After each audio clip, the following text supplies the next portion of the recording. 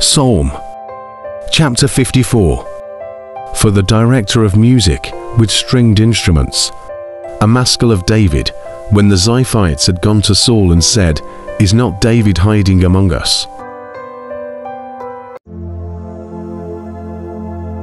Save me, O God, by your name, vindicate me by your might. Hear my prayer, O God, listen to the words of my mouth. Arrogant foes are attacking me. Ruthless people are trying to kill me, people without regard for God. Surely God is my help. The Lord is the one who sustains me. Let evil recoil on those who slander me. In your faithfulness destroy them.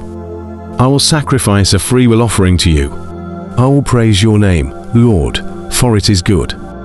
You have delivered me from all my troubles, and my eyes have looked in triumph on my foes.